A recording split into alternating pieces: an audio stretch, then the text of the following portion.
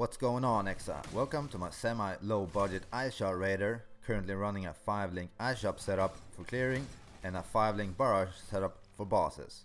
I have a Chin Sol bow in my backup weapon slot that I can easily switch over to and use when I'm standing close to the enemy, just like you can see in the video right now. It was a fun and easy build to play and a build that can most definitely kill Shaper and his guardians using a 5 link.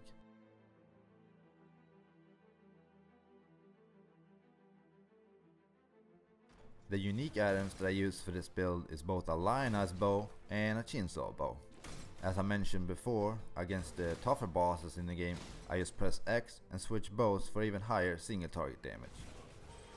While Chin Sol is great for bosses, I use Lioneye's for clearing as it also gives you 100% chance to hit as well as far shot. For helm I use a Starkonja for the evasion, the crit chance, life and the attack speed and the enchantment you want on there is for barrage. For chest I went with the belly of the beast for the life and the all resistance. For gloves I use the new Fenumus' Weave gloves for the level 20 aspect of the spider skill aspect of the spider reduces the enemy movement speed as well as increasing the damage that they take. The debuff can stack up to 3 times on each enemy and last for 6 seconds. So during that time these gloves will increase your damage by up to 50% as well as adding 8 to 14 chaos damage per web. So for example against Shaper, 3 stacks will give you 500k more DPS with Barrage. And lastly I use a Lioneye's Fall Jewel which turns melee modifiers into bow modifiers. And just like you can see on the screen right now, I place that in a position to take advantage of the claw nodes inside of the jewel proximity. If you don't want to spend the currency on that jewel, then go for the deadly draw bow node just below instead. For rares, these are the stats that you're looking for. Basically you want life and resistance on all of your items, and even if I usually prefer to squeeze out as much damage as possible for my rings and amulets, this time I decided to prioritize resistance since I use such few rare items. For jewels I went with only Abyss jewels with life and cold damage. For a flask I went with an Eternal Life Flask with immune to bleeding. I went with a Diamond Flask with immune to curses, with not Atziri's Promise, a Wise Oak and a Quicksilver Flask with immune to freeze.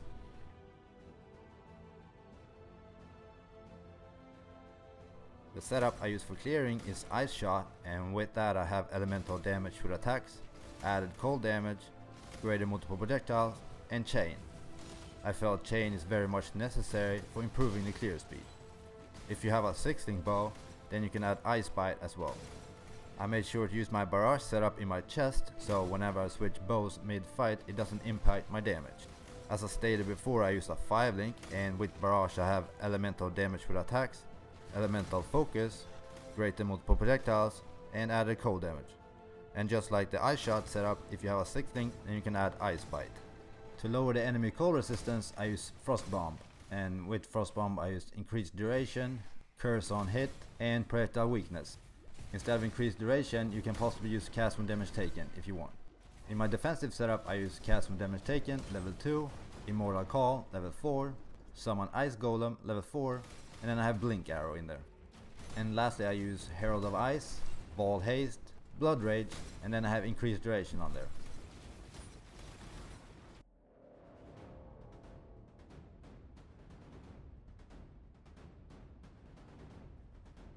For skills, these are the progressions that I went with. I chose three major keystones and they are acrobatics for the dodge, Vaal Pact for the leech, and point blank for the damage. Other than that I went for life, evasion, bow and elemental damage, jewel sockets, and extra frenzy charges. For ascendancy I went for raider because of the higher target damage, but you can also go with deadeye for faster clear with tailwind as well as extra chain damage. So for Raider I first picked up Way of the Poacher for the frenzy charges and then Avatar of the Slaughter for extra damage per frenzy charge. Thirdly I decided to go for Rapid Assault for the free onslaught and then lastly Avatar of the Chase for the extra onslaught damage and evasion.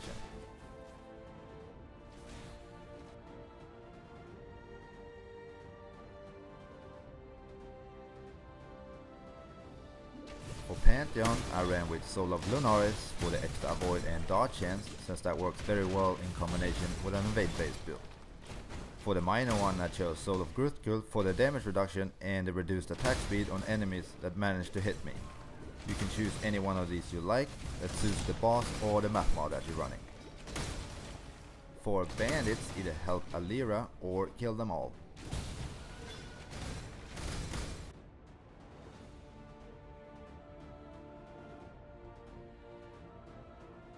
For leveling, I always recommend using a tabula rasa. I started using Ice Shot from level 1 and then connected with less than multiple projectiles at level 8 as well as added damage gems. I started using Barrage in a 4 link at level 8 and I had less than multiple projectiles and added damage gems with that as well. For bows, I started using a Quill Rainbow from level 5 I used that all the way up to 32 when I switched over to a Death Harp and I used that from level 32 until level 66 when I could switch over to the Lioneye's Glare. Other uniques I use while leveling are Lochtonial Caress gloves, the Blackheart rings, the Karui Ward amulet and the Darkness Enthroned belt.